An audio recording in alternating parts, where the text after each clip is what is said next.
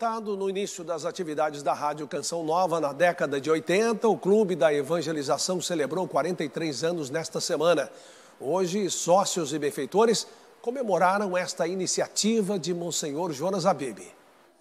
No dia em que o Clube da Evangelização completou 43 anos de existência, o senhor Moacir se tornou sócio da Canção Nova. Eu vejo como precisa ajudar, igual eu vejo aqui a Canção Nova, com muitas ah, atividades, precisamos ajudar que ela se mantenha e continue assim.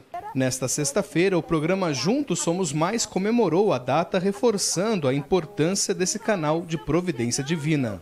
Em festa total, os 43 anos do nosso Clube da Evangelização. O chamado Clube do Ouvinte tinha como desafio manter a programação sem comerciais, contando apenas com a contribuição de sócios e ouvintes da Rádio Canção Nova.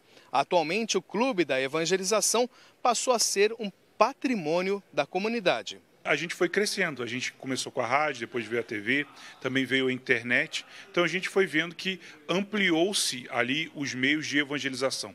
Então se pensou, se rezou e nasceu a ideia do Clube da Evangelização. O sócio ele tem ajuda direto em tudo que a Canção Nova faz hoje. Doações que contribuem para que a evangelização atinja diversas famílias. Eu peço encarecidamente, aqueles que puderem nos ajudar, nos ajude, porque nós temos nossas obras sociais, nós temos a evangelização que não pode parar. Nosso sócio benfeitor, que reza por nós, que contribui conosco, você faz parte dessa companhia de pesca.